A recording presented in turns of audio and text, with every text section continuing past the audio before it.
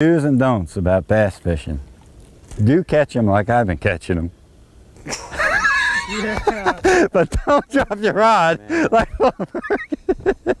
I was just telling you how the last, how was it this now watch before. this, folks. What he has on the end of this line. If we could, if we could oh, watch John. this. Come on, Bill. Hey, this, this is, I'm gonna start cursing, so No, no, no. way- Please, please don't do that. No.